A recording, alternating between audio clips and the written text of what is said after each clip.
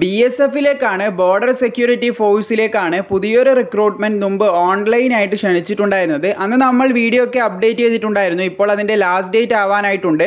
യോഗ്യതയുള്ള ഉദ്യോഗാർത്ഥികൾ ആരെങ്കിലും അപേക്ഷിക്കാൻ ബാക്കിയുണ്ടെങ്കിൽ നിങ്ങൾക്ക് അപേക്ഷിക്കാനുള്ള ലിങ്ക് ഇതായ ഡിസ്ക്രിപ്ഷനിൽ ഫോർ മോർ ഡീറ്റെയിൽസിൽ ലഭിക്കുന്നതായിരിക്കും.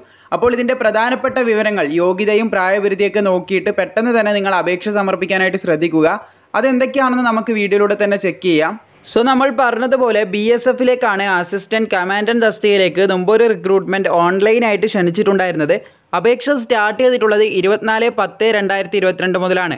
ലാസ്റ്റ് ഡേറ്റ് ആവാനായിട്ടുണ്ട്. ഇരുപത്തിരണ്ട് പതിനൊന്ന് രണ്ടായിരത്തി ഇരുപത്തിരണ്ട് വരെ ഓൺലൈനായിട്ട് നിങ്ങൾക്ക് അപേക്ഷ സമർപ്പിക്കാൻ സാധിക്കുന്നതായിരിക്കും. അപേക്ഷാ ഫീസ് നോക്കുകയാണെങ്കിൽ നാനൂറ് രൂപ general O B C E W S വിഭാഗത്തിനുണ്ട്. അതുപോലെ തന്നെ എസ് സി എസ് ടി ഫീമെയിൽസിന് നാൽപ്പത്തേഴ് രൂപയുമാണ് അപേക്ഷാ ഫീസ് പറഞ്ഞിട്ടുള്ളത്. പിന്നെ ഇതിന് വന്നിട്ടുള്ളത് മൂന്ന് തസ്തികകളിലേക്കാണ് ഇപ്പോൾ വിജ്ഞാപനം ക്ഷണിച്ചിട്ടുള്ളത്. അസിസ്റ്റന്റ് കമാൻഡന്റ് വർക്ക്സിലേക്ക് വന്നിട്ടുണ്ട്. അതുപോലെ തന്നെ ഇലക്ട്രിക്കൽ പിന്നെ വാട്ടർ വിങ് വാട്ടർ വിങ്ങിലേക്ക് സെപ്പറേറ്റ് നോട്ടിഫിക്കേഷൻ ഉണ്ട്. എങ്കിലും ഒരുമിച്ചിട്ട് തന്നെ നിങ്ങൾക്ക് ഇതിന് അപേക്ഷ സമർപ്പിക്കാൻ സാധിക്കുന്നതായിരിക്കും. അപ്പോൾ നമുക്ക് ഡീറ്റെയിൽസ് എല്ലാം നോക്കാം. വർക്ക്സിലേക്ക് ഏകദേശം ആറ് വേക്കൻസിയും ഇലക്ട്രിക്കലും അതുപോലെ തന്നെ വാട്ടർ വിങ്ങിലേക്കും ഒരു വേക്കൻസിയാണ് വന്നിട്ടുള്ളത്. വർക്കിനും അതുപോലെ തന്നെ ഇലക്ട്രിക്കലിനും അപേക്ഷിക്കാനായിട്ട് പതിനെട്ട് ടു മുപ്പത്തഞ്ച് വയസ്സ് വരെയാണ് പ്രായം പറയുന്നത്. വാട്ടർ വിങ്ങിന് അപേക്ഷിക്കാനായിട്ട് ഇരുപത്തിരണ്ട് മുതൽ ഇരുപത്തിയെട്ട് വയസ്സ് വരെയുള്ള ഉദ്യോഗാർത്ഥികൾക്ക് അപേക്ഷ സമർപ്പിക്കാൻ സാധിക്കുന്നതായിരിക്കും. ഇനി വർക്ക്സിലേക്ക് അപേക്ഷിക്കാനുള്ള യോഗ്യത നോക്കുകയാണെങ്കിൽ degree in civil engineering from recognise university or institute ഉള്ളവർക്ക് അപേക്ഷ സമർപ്പിക്കാൻ സാധിക്കുന്നതായിരിക്കും. അതുപോലെ തന്നെ ഇലക്ട്രിക്കലിന് അപേക്ഷ സമർപ്പിക്കാനായിട്ട് ഡിഗ്രി ഇൻ ഇലക്ട്രിക്കൽ എഞ്ചിനീയറിംഗ് ഉണ്ടെങ്കിൽ അപേക്ഷ സമർപ്പിക്കാൻ സാധിക്കുന്നതായിരിക്കും. അതുപോലെ തന്നെ water വിങ്ങിലേക്ക് bachelor degree in marine engineering അല്ലെങ്കിൽ മെക്കാനിക്കൽ എഞ്ചിനീയറിംഗ് അതുമല്ലെങ്കിൽ ഇലക്ട്രിക്കൽ ആൻഡ് ഇലക്ട്രോണിക്സ് എഞ്ചിനീയറിംഗ് അതുമല്ലെങ്കിൽ ഓട്ടോമൊബൈൽ എഞ്ചിനീയറിംഗ് ഉള്ളവർക്കും അപേക്ഷ സമർപ്പിക്കാൻ സാധിക്കുന്നതായിരിക്കുമെന്ന് ശ്രദ്ധിച്ചിരിക്കുക. ഇനി ഇതിന്റെ ഫിസിക്കൽ സ്റ്റാൻസ് നമുക്ക് നോക്കാം.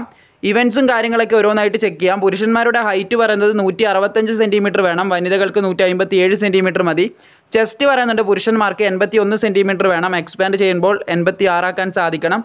ഭാരം പറയുന്നത് പുരുഷന്മാർക്ക് അമ്പതും വനിതകൾക്ക് നാൽപ്പത്തി ആറ് കിലോഗ്രാമും വേണം.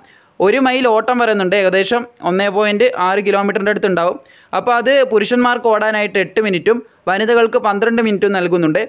അതുപോലെ തന്നെ സ്റ്റാൻഡിംഗ് ജമ്പ് പറയുന്നുണ്ട്. ആറ് ഫീറ്റാണ് പുരുഷന്മാർക്ക് പറയുന്നത്. വനിതകൾക്ക് നാല് ഫീറ്റുമാണ് പറയുന്നത് എന്ന് ശ്രദ്ധിച്ചിരിക്കുക.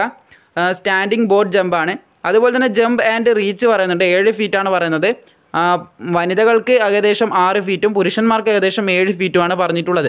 ഇനി ഇതിന്റെ സെലക്ഷൻ പ്രോസസ്സുമായി ബന്ധപ്പെട്ടിട്ടുള്ള കാര്യം നോക്കുകയാണെങ്കിൽ written examination documentation P S T അതുപോലെ തന്നെ പി ഇ ടി പിന്നെ ഇന്റർവ്യൂ മെഡിക്കൽ ടെസ്റ്റ് ഇങ്ങനെയാണ് പോകുന്നത്. അതിനുശേഷം നിങ്ങൾക്ക് ഇതിന്റെ സിലബസും കാര്യങ്ങളൊക്കെ താഴെ ഡിസ്ക്രിപ്ഷനിൽ കൊടുത്തിട്ടുള്ള ലിങ്കിലൂടെ മനസ്സിലാക്കാൻ സാധിക്കുന്നതായിരിക്കും. ഇതിന്റെ രണ്ടിന്റെയും നോട്ടിഫിക്കേഷൻ വേറെയാണ് വന്നിട്ടുള്ളത് നമ്മൾ പറഞ്ഞിട്ടുണ്ടായിരുന്നു. രണ്ടും സെപ്പറേറ്റ് ആയിട്ട് വന്നിട്ടുള്ളത്. അതായത് വാട്ടർ വിങ്ങിന് സെപ്പറേറ്റ് നോട്ടിഫിക്കേഷൻ ഉണ്ട്. അതുപോലെ തന്നെ വർക്സിനും ഇലക്ട്രിക്കലിനും സെപ്പറേറ്റ് ആയിട്ടുള്ള നോട്ടിഫിക്കേഷനും ഇവിടെ കൊടുത്തിട്ടുണ്ട്.